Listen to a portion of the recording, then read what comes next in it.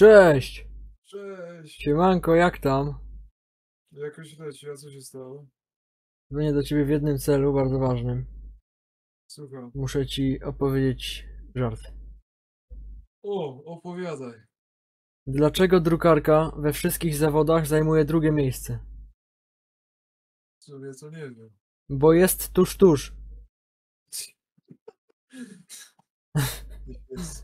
Pozdrawiam. Miłego dnia. Навзаєм, Юрію Вечору.